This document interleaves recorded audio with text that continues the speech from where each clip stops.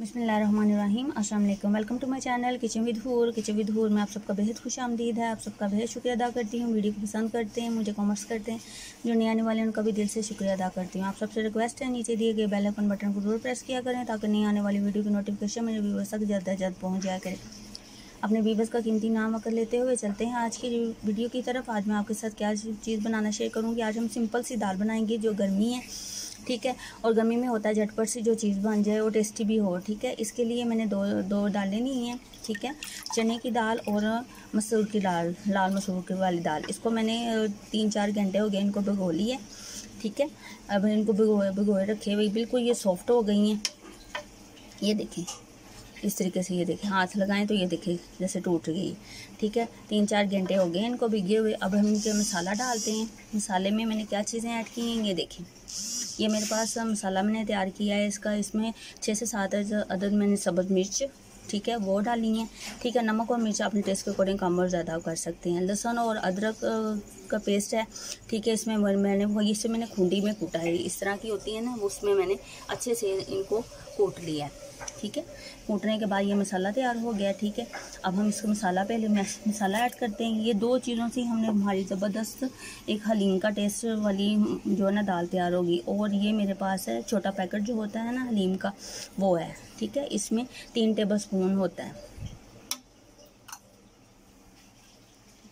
बस यही इसके डिज़ाइन और ये झटपट बनने वाली और मज़ेदार आपकी हलीम तैयार हो जाएगी। आपको ज़्यादा लंबा चौड़ा काम करने की कोई ज़रूरत नहीं है, ठीक है? इनको अच्छे से हमें मिक्स करते हैं और प्रेशर की सीटी प्रेशर का ढक्कन बंद करके इसकी सीटी लगाते हैं। ठीक है? ये देखे वीवर्स ये देखे पाँच दस मिनट में हमारी ये दाल है ना जो मैंने ये देखी। बिल्कुल ज़बरदस्त हो गई है ये देखिए। ठीक है, अभी अब थोड़ा सा अभी हो रहा हम इसे इसी की मदद से, हम इसे अच्छे से गोटेंगे ठीक है, और इसका तड़का लगाएँगे, और ज़बरदस्त झटपट झटपट और झटपट मज़े की हमारी ना हलीम हलीम के जैके वाली जो ना ज़बरदस्त किस्म की ना दाल जो तैयार हो जाएगी, ठीक है। अब हम इसका बस इसको थोड़ी देर और थोड़ा सा गोटते हैं और इसका तड़का लगाते हैं। अब वीवर्स मैंने घी ली है, ठीक है, उसमें मैंने एक जवा लहसुन का ऐड किया है, ठीक है, और हाफ़ टी स्पून मैं इसमें ऐड करूँगी ज़ीरे का, ठीक है, थोड़ा सा ज़ीरा कड़कर डालें इसी में मैं, इसी में मैं हाफ़ टी स्पून जो ना, वो कश्मीरी लाल मिर्च ऐड करूँगी ताकि उसके ऊपर ज़्यादा खूबसूरती अब ज़रा थोड़ा सा ये कड़कर डालें ये देखिए वीवर ज़बरदस्त किस्म का हमने इसके ऊपर तड़का लगा लिया है, ठीक है। अब थोड़ा सा हम गार्निश के लिए इसमें सब्ज़ धनिया और सब्ज़ मिर्च ऐड करते हैं। झटपट से हमारी दाल जो है ना वो हो गई तैयार और चावल भी हमारी पक गए हैं। अब उसे हम डिश आउट करते हैं। ये देखिए बस हमने चावल ठीक है, और हलीम, झटपट बनने वाली हलीम हलीम के टेस्ट वाली दाल हमने तैयार कर ली, साथ हमने अचार रखा है, ठीक है, और गर्मी में लंच में ये मतलब कि अगर डिश मिल जाए तो और क्या चाहिए, ठीक है, बहुत आसान और झटपट बनने वाली रेसिपी है, ठीक है, चावल जल्दी जल्दी मैंने पहले ही उबाल लिए थे, ठीक है, जब मैंने दाल को भिगोया था, चावल मैंने उबाल ली उबाल ली, ठीक है, दोनों दालों को भिगोया भिगोने के बाद मैंने उसमें मसाला ऐड किया लहसन लहसन अदरक, सब्ज़, मिर्च और खुशक धनिया, गर्म मसाला, उसको मैंने खूंडी में अच्छे से कूट लिया, ठीक है?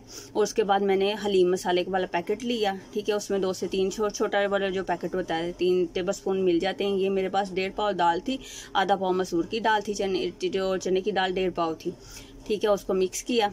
ठीक है, और सीटी लगाई, दो से तीन सीटियाँ आई, ठीक है, दाल को अच्छे से घोटने से घोट के तो ये देखिए तड़का लगा लिया ज़ीरे और लहसन का, और थोड़ी सी मैंने उसमें फ़ूड के मतलब कलर के लिए मैंने कश्मीरी लाल मिर्च ऐड की है। ठीक है, बहुत ही ज़्यादा टेस्टी और बहुत ही ज़्यादा मज़े की बनने वाली ये रेसिपी सिंपल सी है। ठीक है आई होप ये वीडियो आपके लिए हेल्पफुल होगी। वीडियो अच्छी लगी चैनल को ज़रूर लाइक कीजिए। ज़रा सी भी अच्छी लगी तो आप, ये आपकी तरफ़ से मेरा नाम होता है। जब आप लाइक सब्सक्राइब करते हैं या कॉमेंट्स करते हैं कि मिल, आपसे इजाज़त चाहते हैं, मिलते हैं एक अच्छी और कारामद वीडियो में। अपना अपने प्यारों का ख्याल रखिएगा, दुआ में याद रखिएगा। अल्लाह हाफिज़।